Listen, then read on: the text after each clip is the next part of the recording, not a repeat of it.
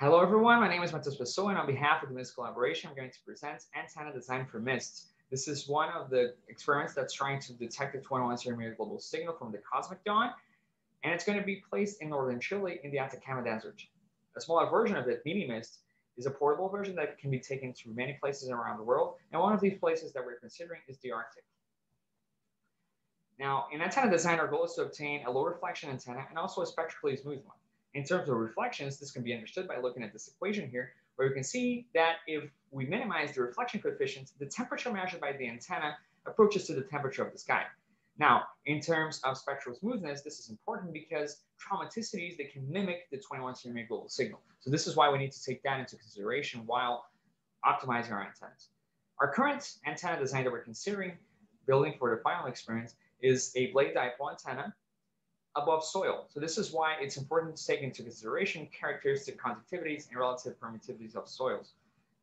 And to test those influences, we make lots of electromagnetic simulations. And on this part of the of our explorations, we tested first the influence of different mesh sizes in the electromagnetic results.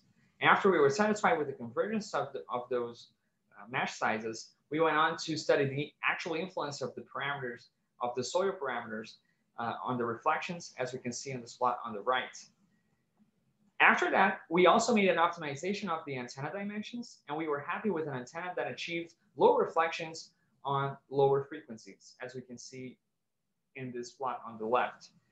The simulated beam antenna pattern is the one that we can see on the right, and we can also note that it's also spectrally smooth.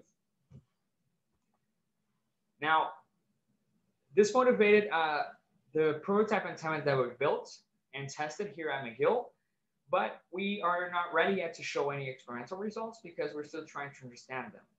If you would like more information about the MIST experiment and the other parts of the experiment, please watch uh, Raul Monsalva's talk. Thank you very much.